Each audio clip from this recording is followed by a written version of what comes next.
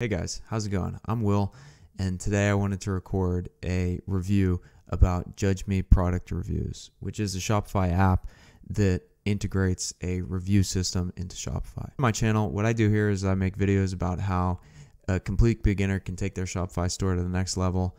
Um, most of my videos have to do with how uh, people who don't know how to code at all can use easy copy to paste code blocks to add custom features to their sites. In addition, I do app reviews and I also just talk about general uh, tips and tricks for the Shopify backend. So let's just jump straight into this review of this uh, review app. So guys, I can't stress this enough. Reviews are very important for building social proof for your e-commerce site. So if we look at this study done by BigCommerce, 69% of online shoppers want more reviews from e-commerce sites and 77% of customers read product reviews before making a purchase.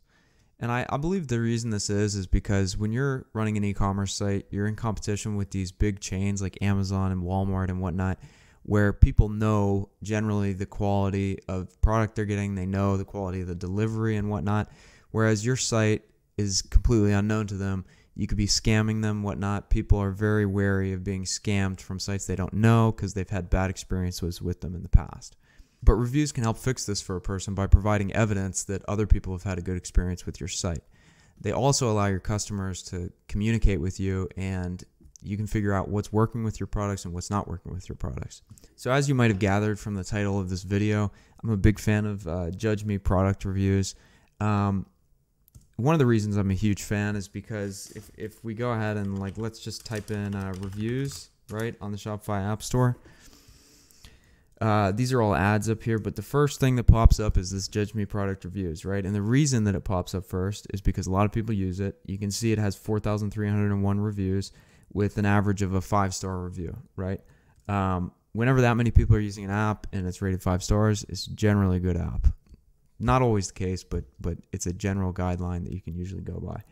One of the reasons that I think this app is so popular is because it's one of the few review apps on the Shopify App Store that has a completely free plan available. And so if we scroll down here, you'll see there's a free pricing, there's this awesome pricing which is 15 bucks a month, and the free plan has everything that you'd want in a basic review system.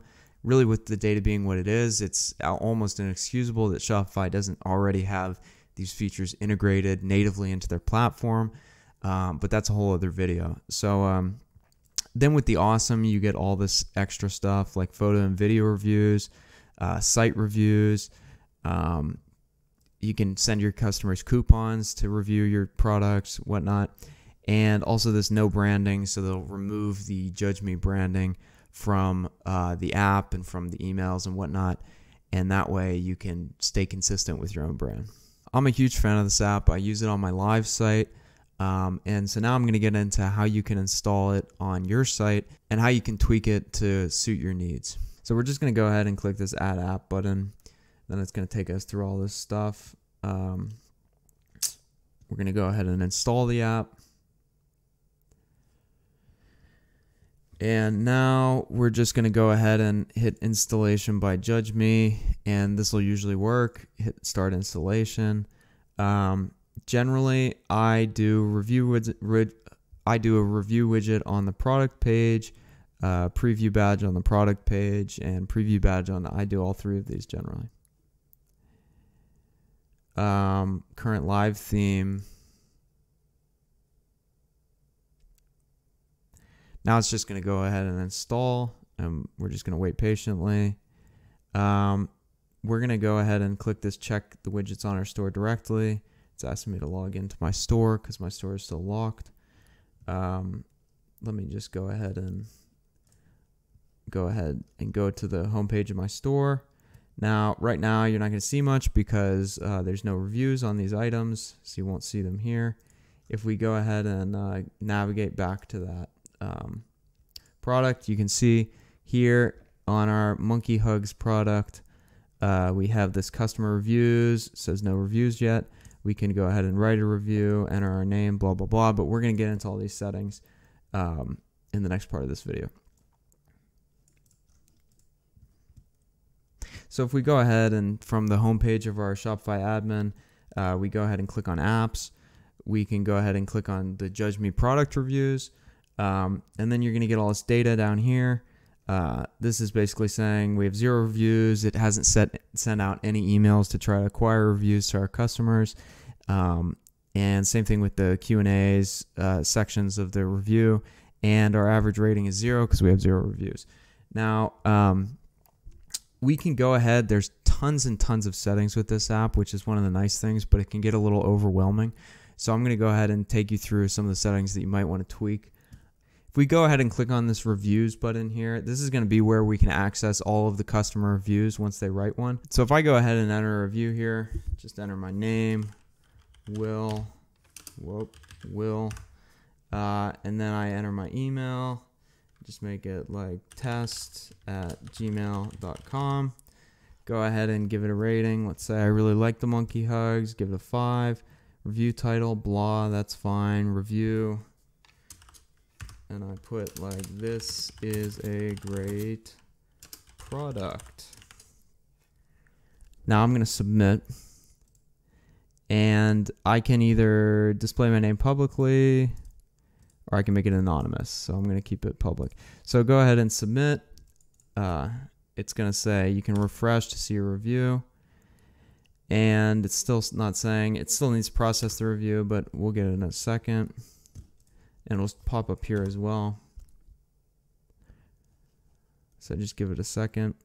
All right, so now it has basically that I've written this review about monkey hugs. And uh, it gives you the option where you can hide customer reviews if someone uh, writes a review that you don't feel fairly accurate uh, or accurately describes your product you might want to hide it i keep all my reviews published because i like to be uh, transparent about my site but perhaps if you know if there's a if there's a bot that's coming onto your site and just um, you know giving all your products one stars and whatnot uh, i think it's good to have this hide button functionality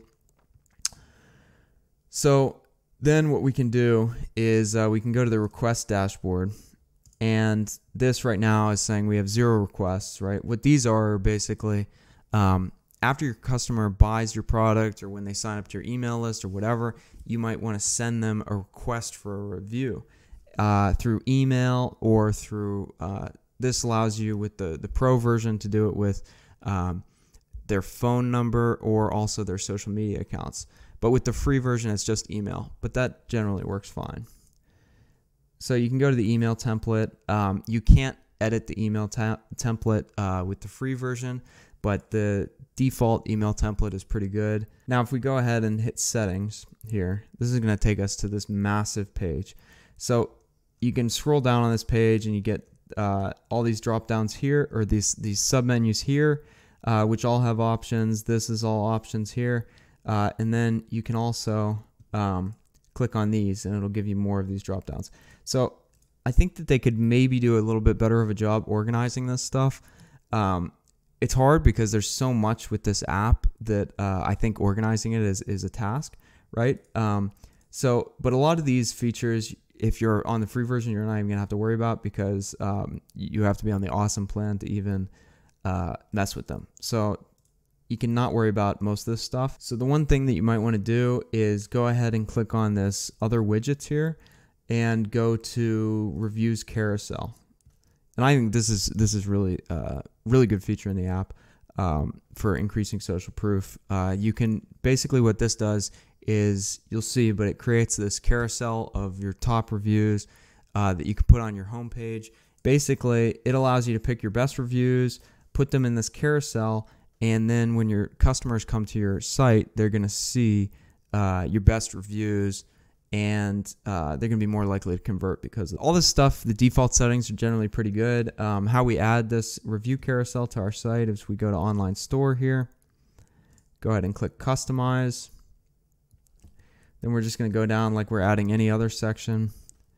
Go ahead and scroll um, down to, I believe, should be here. Okay, so we're going to scroll down here to uh, featured review carousel.